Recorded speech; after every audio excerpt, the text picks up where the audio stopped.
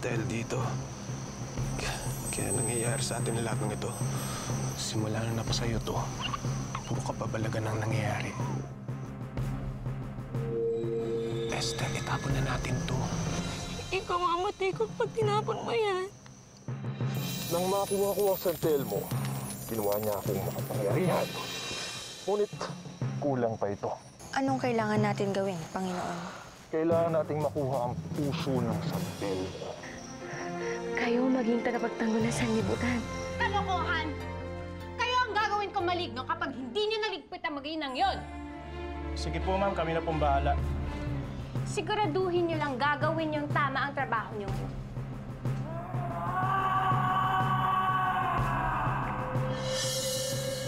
Pangalip na padating. Manuel, takas mo yung mga bata. At pag nasa gustong edad na sila, sa pagsapit na ikpit ng kaarawan nila, Manuel. Manuel, ibigay mo tong sing-singa. Manuel, mangako ka sa akin. Pangako. Nasaan na sila? Saan ka pupunta? Akala mo matatakasan mo kami? Ano nangyayari sa akin?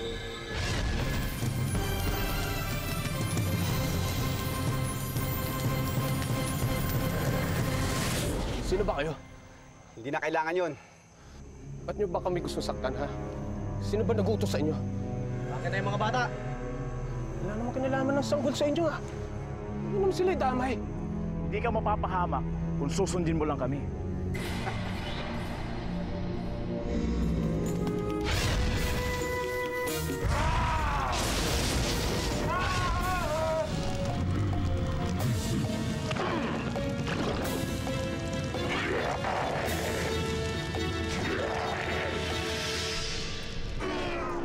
May kapangyarihan ako?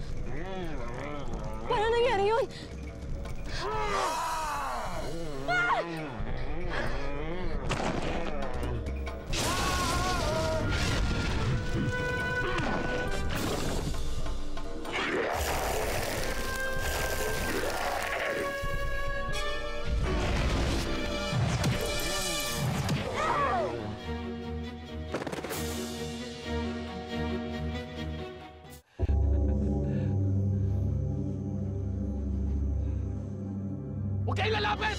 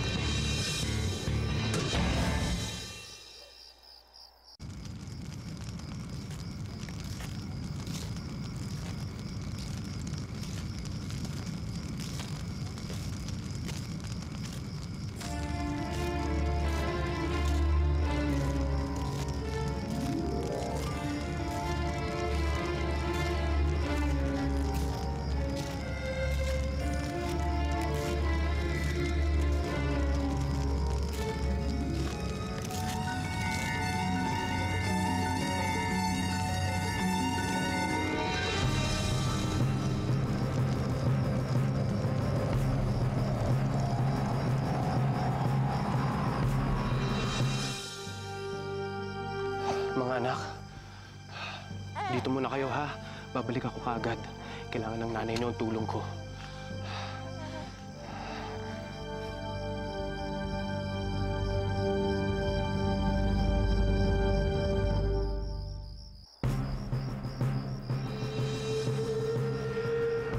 Ginagalit mo ko. Pinatay mo ang mga lagad ko. Sino ka? Bakit gusto mo akong patayin? Yan. Yan ang dapat kong itanong sa'yo. Sino ka? At bakit may kapangyarihan ka rin? Marahil ay ikaw ang nakakuha sa puso ng mo. Hindi ko alam ang mga sinasabi. Nasaan ang puso ng San Telmo?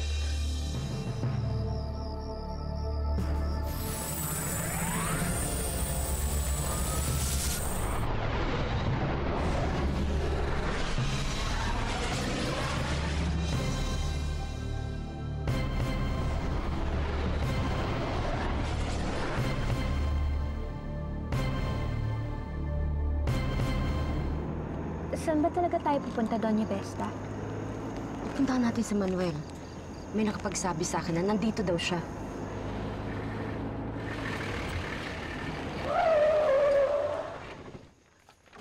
Manuel!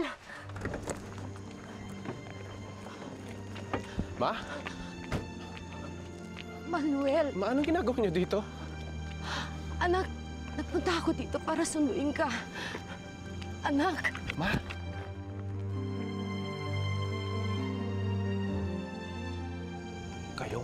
Nito. Kayo! Anong paka na, anak? Hindi ko naiintindihan ang sinasabi mo. Bakit, ma? Ba't, ba't mo gusto yung papatay ang mag ako? Manuel, hindi. Maniwala ka. Sa katunayan, anak. Kaya ako nagpunta rito ay para, para sabihin sa'yong pumapayag na ako. Hindi na ako tumututol sa inyo ni Esther. Kung talagang siya mahal mo, anak, hindi na ako kokontra. Umuwi ka lang, please. Sinungaling! Mahal sinungaling ka! Anak, Sarili kong ina ginagawa sa akin to? Ma, hindi ko maintindihan kung bakit eh. anak, hindi ko talaga alam ang sinasabi mo. Kalalapit sa akin, ah. Kalalapit sa akin, Diyos ko. Pag lumapit ka sa akin, baka masaktan ko lang kayo. Maniwala ka, Huwag wala mo ko ko alam sa... tatuwagin, anak!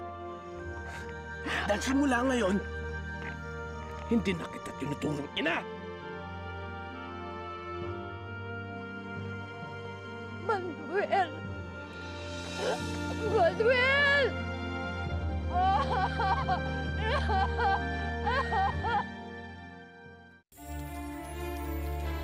Malakas ang epekto sa'yo ng San Telmo.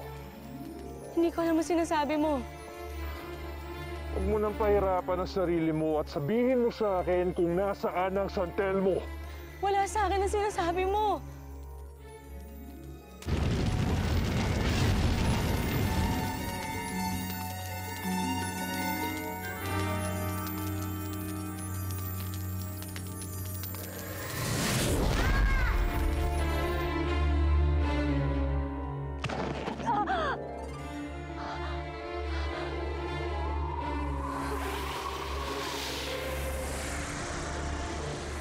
Ngayon magsalita ka.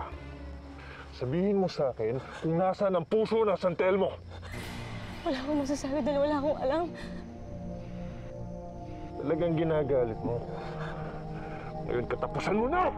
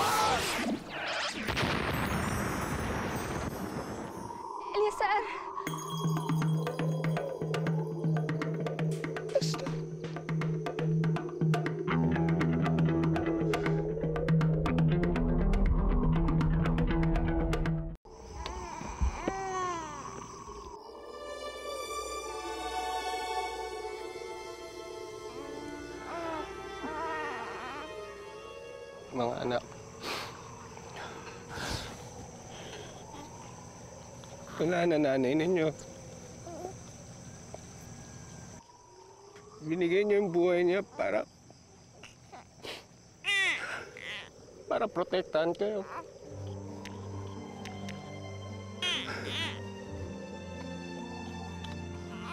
Mga anak, huwag natin siyang bibiguin. Alam mo mga anak, hindi ko alam ang nangyayari. Pero kung ano man yun, kung ano man yun, kailangan natin makatakas. Para sa kanya, anak.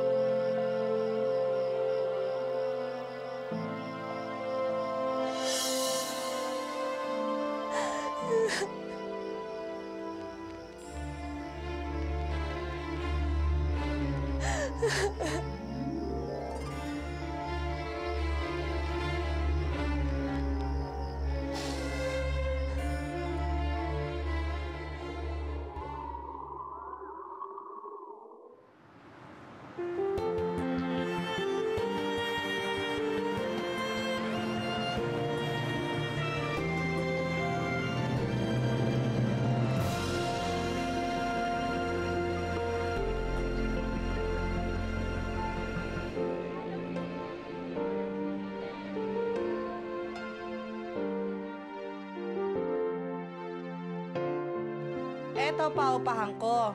3,000 to isang buwan. Libreng tubig tsaka ilaw. Ikaw ba titira? Opo. At saka yung kambal ko ho. Anak mo ba yan? Opo. Aba, ang gaganda ano. Kambal ba ka mo? Opo. Eh, ba't parang hindi magkamukha? Eh, fraternal twins po sila, kaya talagang hindi po sila magkamuka. Ah, ano, kunin mo. Opo, kukunin ko po. O sige, one month deposit, one month advance. Anim na libo yun. Ano ba trabaho mo? Ah, maghahanap pa lang ako ng trabaho. Ano? Eh, paano mo babayaran to? Ma'am, may konting ipon pa naman po ako eh. Nandito po, sa bulsa.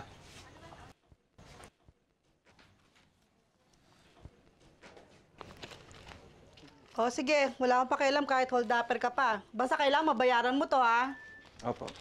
Iwan ko na kayo. Maraming salamat po.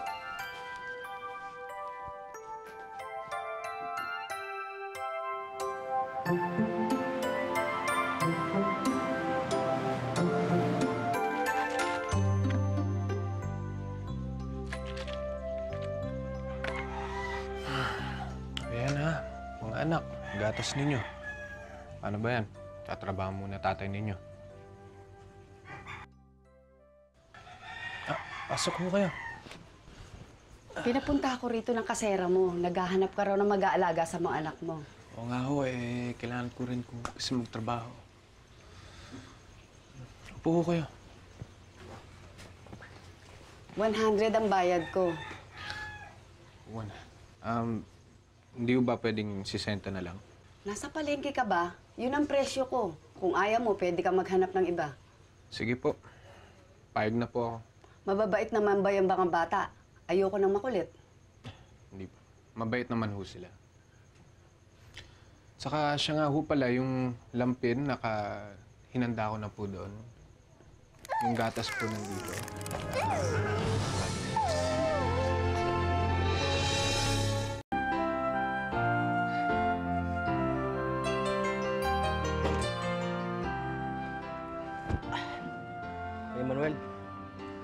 Magpahinga ka naman. Bakit ba pala yung double shift mo? Bakit ba sobrang sipag mo ngayon? Eh, pare, kailangan ng mga kambal ko eh. Tsaka isa pa, mahal na gatas ngayon. Tsaka ako na lang inaasahan ng mga yun. Alam mo pare, bilib ako sa mga katulad mo eh. Talagang maaasahan. Yes lang. ah. Manuel, Sir? ikaw ba yung nag-iwan ng krudo sa likod? Ano ka ba naman? Ayaw natapon. Hindi mo niniisip ang ginagawa mo. Pasensya na ho, sir. Anong pasensya? Ibabawas ko yung sa sweldo mo. Sir, wag naman ho, maawa naman ho kayo sa akin. May, may mga anak akong kailangan pakainin, sir. Eh, dapat kanina mo pa iniisip yan. Basta ibabawas ko yung sa sweldo mo. Sir! Aring Manuel! Aring Manuel! Oh. Tumawag yung opisina. Umuwi ka daw sa inyo. May emergency daw sa inyo. Emergency. Sasha! Tintin!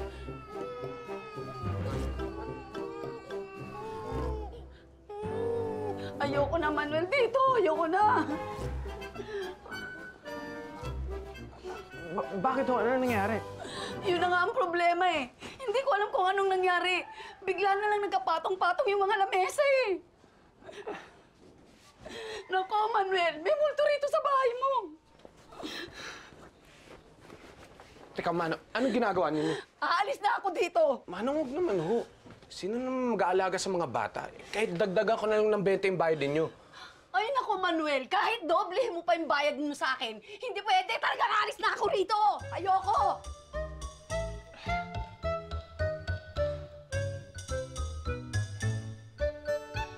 Ay, nako kayong dalawa. Naglaro na naman kayo. Saan tayo ngayon kukuha ng mag-aalaga sa inyong dalawa?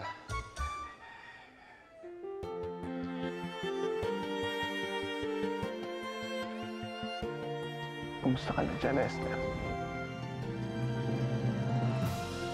Alam mo ba? Miss na miss na kita. Kahit saan ka man, sana masaya ka.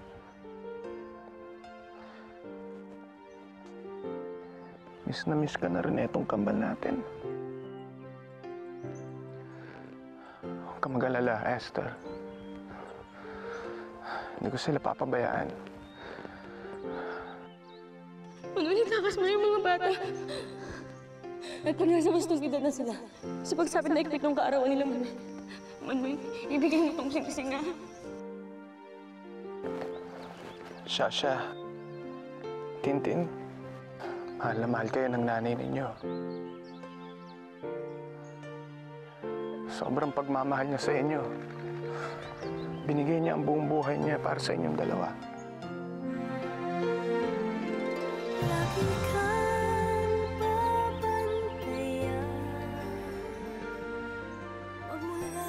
Ano ba kayo? Saan ba kayo galing? Ano ba dadalhin niyo sa buhay namin?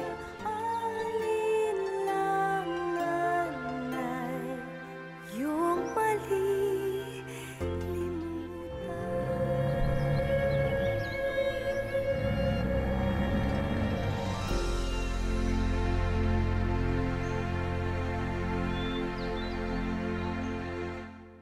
Shasha!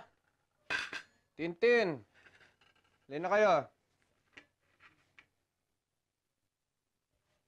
Sha! Tin! Tay, nandito na kami!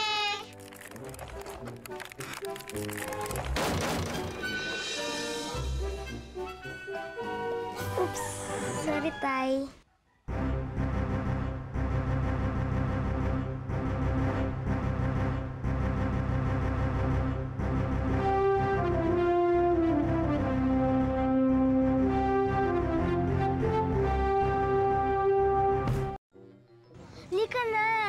Tayo! Wag na, Shasha. Anong wag? Sali na tayo! Ayaw naman nila sa atin eh. Akong ba pala. Tara na. Sasha naman. Ano mo naputol? Pwede bang sumali? Kompleto na kami. Hindi na namin kailangan ng iba. Hindi pa tayo kompleto. Kulang pa tayo ng dalawa. Oh, yun naman pala eh. Sali na kami. Sige. Kung talaga, kapag tayo napahamak. Ikaw lang naman talaga tayo ah. Sige, laro na tayo. Gusto ba kayo? Ha? Diyos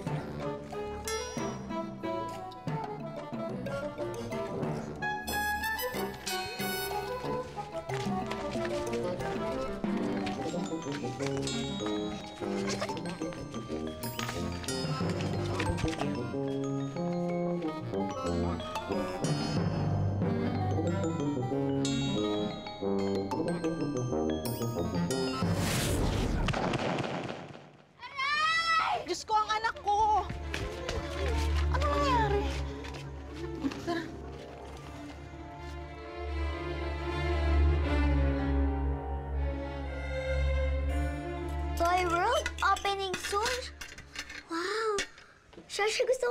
makapasok dito. Ako rin! Mukhang maganda dito. Oo nga. Saan kaya ito, no? Shasha, Tintin. Tay! Tay, kain na tayo. Alam po na kasi namin na gutom na kayo, kaya nagluto po kami, di ba? Ba? Ang masarap to ah. Teka, teka, teka, teka. Parang ang bait niyo sa akin nata ngayon. May kasalanan kayo, no? Wala po, Tay. Hoy, Manuel! Alin Yang siya? mga anak mo, may ginawa na naman sa anak ko. Bakit po? Itinulak. Naku! Hindi ko naman po sinasadya eh. Anong hindi sinasadya? Ang lakas-lakas ng pagkakatulak mo. Tumilapan pa ang anak ko. Naku, Manuel, pagsabihan mo yung mga sutil mong anak, ayoko maglalalapit pa sila. Maliwanag ba? Oo. Aling Susan. Hindi na ako makakalapit ang kambal sa anak mo. Ano? Shasha, Tintin. Lagay dito.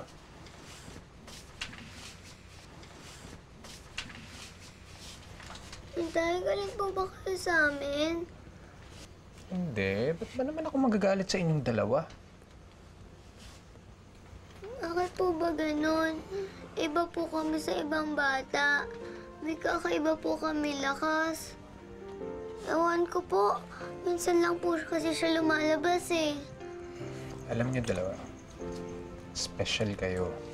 Tay, ayoko pong maging special. Gusto ko lang po maging normal. Tulad ng ibang bata.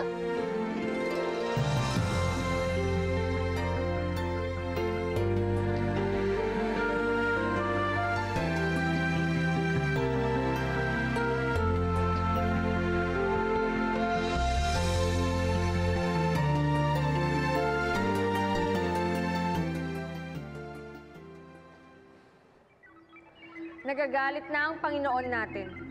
Nakahanda na ba ang lahat? Nakahanda na. Sinisimulan ko na ang aking mga plano. Magaling. Matutuwa ang Panginoong Eleazar.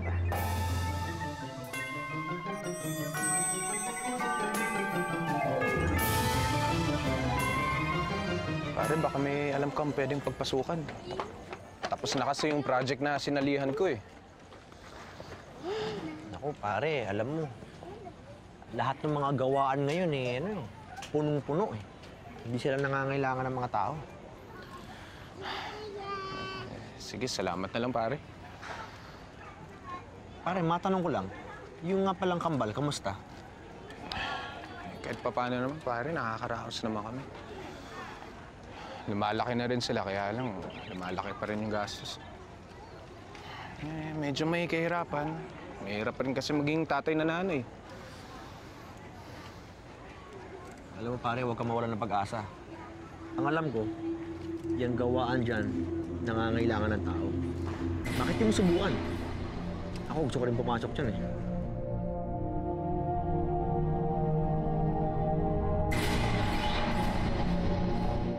Wala ho ba talaga? Kahit extra lang, sir? Wala nga. Sige na, naabala mo ako. Salamat talaga.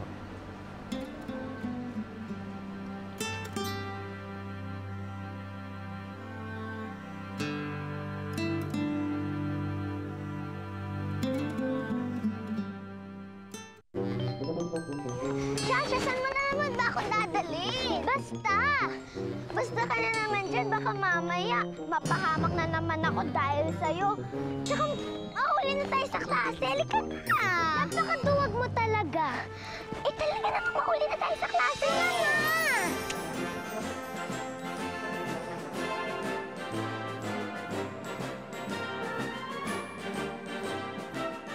Mga bata, maraming salamat sa pagpunta ninyo ngayong umaga sa aming pagbubukas ng aming pinagmamalaking Toy World! Ito hindi basta simpleng tindahan at pabrika ng laruan. Ito isang lugar na kung saan ang inyong pangarap ay magkakatotoo. Kaya halina, pasok na kayo rito! Dali, dali, dali! Pasok!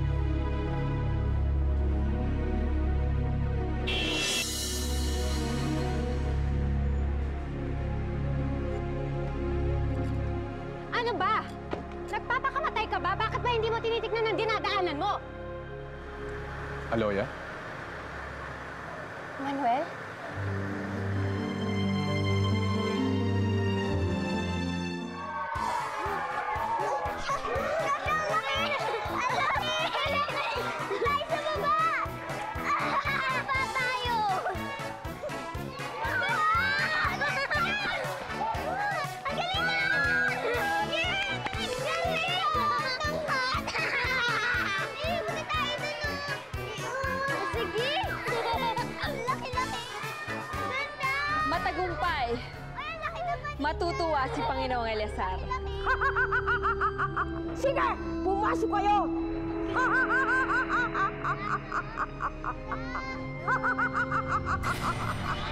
Pumasok kayo sa aking munting katibong!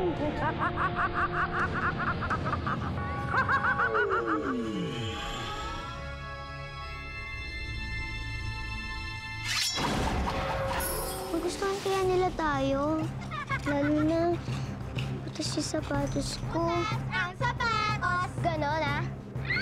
Pagsabihan mo yung mga anak mo ha, ayoko na magugulo dito sa eskwelahan ko. Nasa nga palang nanay nila? Sanggol pa lang ho sila nung namatay kaya ako na lang ho nagpalaki sa kanilang dalawa. Kaya pala lumalaki sutil ang dalawang yan kasi walang guidance sa isang ina. Malaki ng mga bata. Kaya kailangan na nila ng isang ina. Patawarin mo na lang ako sa gagawin ko. Siya si Tita Aloya nyo. Siya magiging bago niyong mami.